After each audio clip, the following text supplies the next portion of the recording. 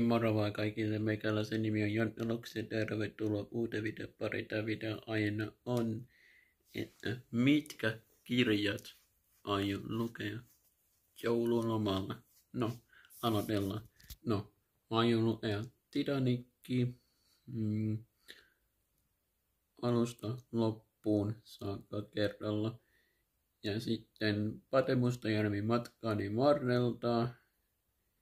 Cheek Ihonen musta lammas ja popeda ilkeästi kiitä.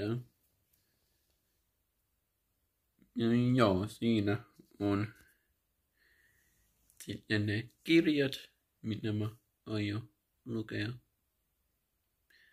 joululomalla. Huomenna luultavasti tulee joku kirja, joku nimen ei, eli en mä tiedä tuleeko live, mutta video, kirjaluku video, saattaa tulla. Mm. Näin on. Joo, tämmöisiä kirjoja sitten mä luen joululomalla.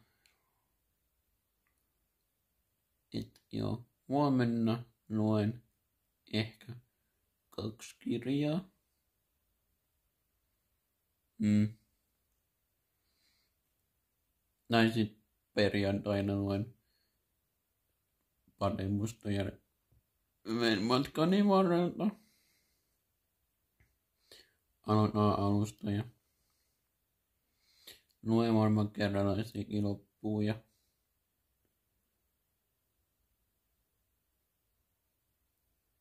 näin on.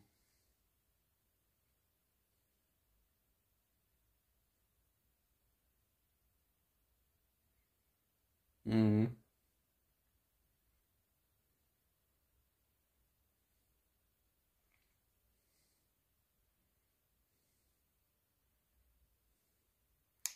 Joo, tämmöisiä kirjoja sitten aion lukea koko tämä loman aikana, kun on paljon tekemistä, kun ei ole mitään töitä, niin joo,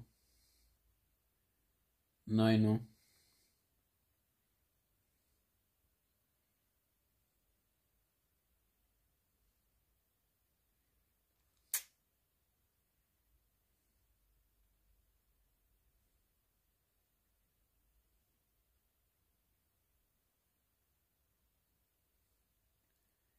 Mut joo, tänne on siis aion lukea joulu, no, teille. Mut joo, se on sitten moro. Hyvää joulua kaikille ja tilaa kanava joulun kunniaksi.